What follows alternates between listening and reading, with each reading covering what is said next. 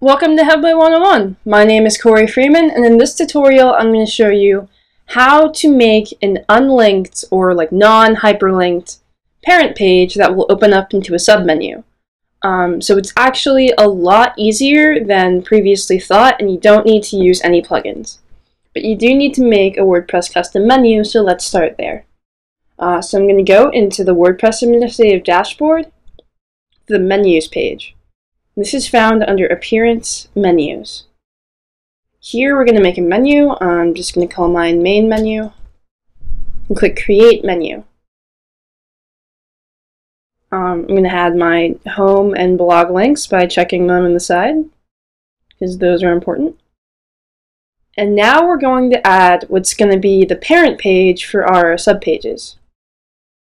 So let's call this parent, and I'm just going to type in any link here and click add. And this is the custom links box.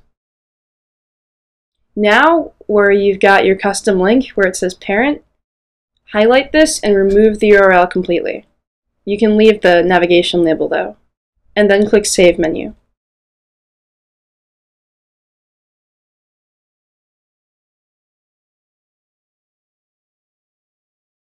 Okay, and now I'm going to go ahead and apply this to my navigation block, which is on the front page.